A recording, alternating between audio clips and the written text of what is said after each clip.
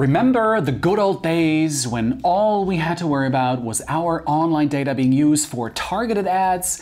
Well, in 2025, there's a new threat to privacy to worry about your files might be used to train AI. And the cloud storage services are really right in the middle of it because, well, they have all your data. In this video, you're going to learn whether cloud storage is using your files to train AI, which providers you should avoid, and more importantly, which cloud storage services actually protect your privacy. And at the end of this video, I'll also share my top tips to help you keep your data from being used without your consent. So make sure to really stick around until the end. Let's cut to the chase. Are cloud storage services using your files to train AI models? Well, it depends on which service you're using. To understand what's happening, let's rewind the clock a little bit. In January 2023, OpenAI's ChatGPT hit 100 million users in just two months. That set off a massive race in the tech world, with all the big tech companies basically rushing to catch up on the AI train. Microsoft added its AI chatbot to Bing in February 2023, initially calling it Bing Chat, later rebranded to Copilot. The following month, Google launched its AI chatbot Gemini, which was first introduced as Bard. Suddenly, everyone needed massive amounts of data to train these AI models. So, where did this data come from? There were some, well, interesting developments in how AI companies handle user data. In this Help Center article, for example, that I'm showing you here on the screen, OpenAI says they get their training data from three sources public information from the internet, partnerships with other companies, and data from users and researchers. While they claim they don't actively seek out personal information, they admit that since so much online data relates to people, personal information does end up in their training sets. Well, Further down in the same article, OpenAI claims they can use this data under what's called legitimate interest under GDPR law. Essentially, legitimate interest allows companies to use data without consent if they have a valid reason, such as improving their services, preventing fraud, or ensuring security. But not everyone agrees this applies to OpenAI's best OpenAI's practices. Italy's data protection agency, Garante, fined OpenAI 15 million euros in December last year. They argued that the company's web scraping actually violates GDPR in major ways, including training ChatGPT without correctly identifying an adequate legal basis, violating GDPR's Article 6. Google took a similar approach. In July 2023, they confirmed they scrape public data from the internet for AI training, and interestingly, the privacy policy originally referred to language models, specifically well, but has since been updated to cover all AI models. While this may seem like a small change in wording, it actually opens the door for Google to use your data for all sorts of AI technologies, including image recognition, voice assistants, instead of just text-based language models. Oh man. Let me get a sip of coffee first before we really continue with all this news. Speaking of coffee, I'm basically fueled by it daily, and after struggling to find consistently great beans, my partner and I founded Coffeeness to create the perfect chocolatey espresso blend. We've tested this blend in over 100 machines to make it perfect. Take a look at our overflowing storage rooms right here with all the machines.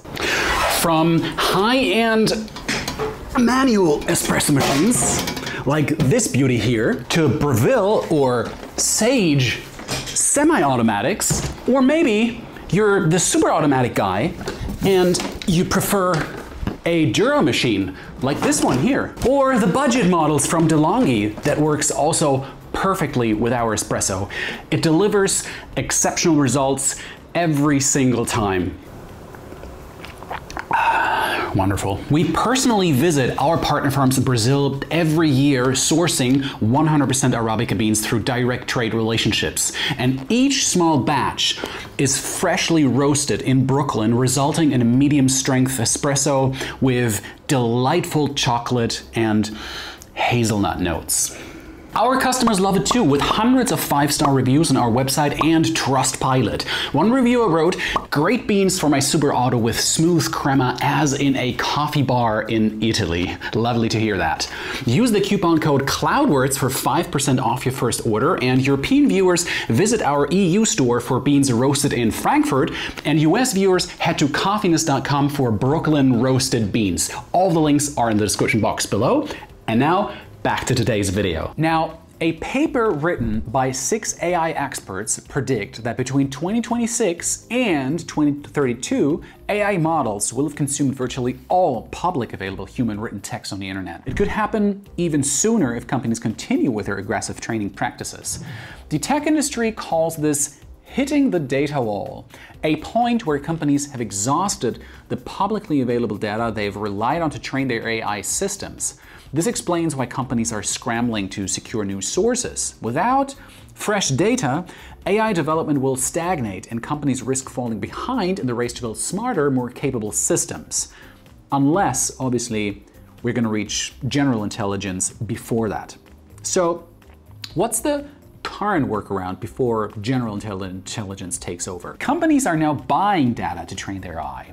Reddit, for example, is earning 60 million per year by letting Google use its content to train AI. And Meta is using content shared on their platforms, including posts, photos, and captions. LinkedIn now openly uses your data for AI training, and since November 2022, X, or Twitter, also allows companies to use your data for their AI training. User data is like the new oil of the digital age, and cloud storage services are sitting on massive reserves. Selling that information to AI companies is a lucrative business, but what about the cloud storage service you're currently using to store your files? Let's look at where major providers stand, starting with, well, you guessed it, Google. Now, Google faced a lawsuit last year alleging they scraped data from hundreds of millions of users without their consent to train and develop their AI products. The plaintiffs claimed that Google has been secretly stealing everything ever created and shared on the internet and using this to train AI tools like Bard. The lawsuit is still ongoing, but Google has called it baseless. They say they don't scrape data for AI training, but there are three things you should basically know. First, they do scan your data for other purposes than their privacy policy doesn't rule out using your data for AI in the future. This policy applies across all Google services, including Google Drive. This means that while Google might not be actively using your data to train AI right now, it can sit on that data until it decides to use it in the future.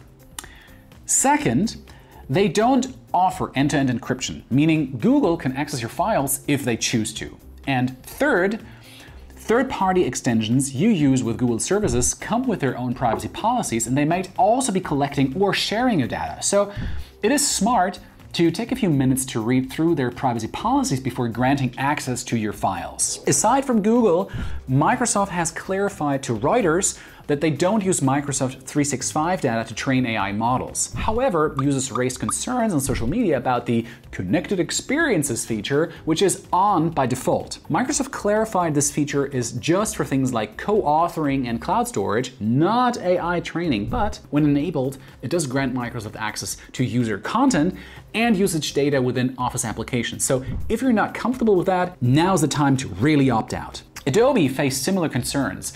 Users interpreted their terms of service to mean they were training AI with their creative content. The company updated the terms of service to clarify that this really wasn't the case. And our team reached out to Adobe. They confirmed that they only use content for AI training if you choose to submit your work to the Adobe Stock Marketplace. However, like Google and Microsoft, Adobe doesn't offer client-side encryption for its cloud storage. This means they technically have the ability to access your files even if they choose not to use them for AI training for now. Amazon Web Services takes a different approach. Now, according to their website, AI services opt-out policies allow you to control data collection for AWS AI services for all the accounts in an organization. Essentially, what happens is that AWS AI services use and store content for what they call service improvements which they define as using non personal content to improve Amazon Web Services and affiliate, machine learning, and AI tech. You do have the right to opt out of having your content used for these service improvements by configuring an AI services opt-out policy using AWS organizations. You can find a list of the supported services by this AI opt-out policy on their website. AWS GovCloud regions operate differently. According to their website, in these US regions, they simply don't use or store AI content processed by services like Amazon Bedrock and SageMaker. The AI opt-out for data collection is automatically applied by default, meaning your content never gets used to improve their models and isn't shared with any model providers. How can you make sure the data you store in the cloud is not being used to train AI models?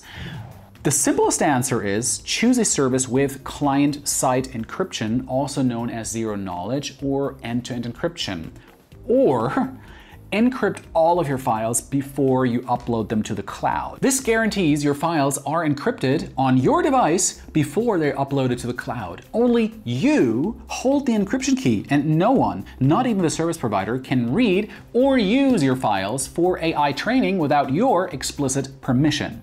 One of our top recommendations for this is Sync.com. They offer client-side encryption on all plans, including their free tier, and it's one of the most secure options available, though it does sacrifice some speed for security. Watch our review for a closer look at Sync.com's features and performance, which I'm gonna leave you in the description box below. Then there's pCloud, which is another super safe option. They offer client-side encryption, but unlike Sync.com, they charge extra for access to a personal encrypted folder. Anything you store in this folder is locked with client-side encryption and only you can decrypt it using your private encryption key. Be aware though, you need this private encryption key to get to your data. If you forget it, if you lose it, you will lose your access to your files beware. Another option we have is Internxt. They offer client-side encryption on all their plans as well, and if you upgrade to a paid plan, you unlock post-quantum encryption. We've covered that topic in another video, so go ahead and check that one out as well. IceDrive is another great cloud storage service in terms of safety. They provide client-side encryption only on their paid plans, and a cool feature about IceDrive is they let you choose which files to encrypt by using a special encrypted folder. And then there's Mega. They offer client-side encryption completely free of charge. Their free plan is also one of the most generous out there with an upgradable 20 gigabytes of storage, making it one of the best cloud storage services out there. What can you you do to protect your data? Well, first, Check your current cloud storage provider's privacy policy. Look specifically for sections about AI or language model training or data usage for machine learning. Second, consider switching to a provider that offers client-side encryption if privacy is your top priority. All the cloud storage services we mentioned earlier offer this level of protection in one way or the other, or well, encrypt your files before you upload them to the cloud, but that requires a little more technical expertise that a lot of people maybe not want to really consider. And lastly, take advantage of opt-out options when available. Most services are now required to provide these, but some features need to be set up right from the start. Take iDrive, for example. They offer client-side encryption, but you can only enable it during the initial account setup. There's no way back. What do you think about cloud storage services using your data for AI training? Are you comfortable with it? Or will you be making changes to protect your privacy? Let me know in the comments below. And if you found this video helpful, don't forget to hit that like button and subscribe to our channel. Thank you for watching, and I'll see you in my next video. Bye-bye.